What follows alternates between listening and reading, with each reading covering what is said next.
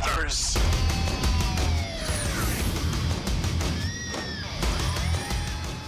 Just like my brothers that I've served with, we've all had our tough times adjusting here to life back at home. We've gone through our dark times, and we're not afraid to admit it. And if that makes you feel uncomfortable, well, then good. It should. But that's our blood on your hands. And what's only fair is your blood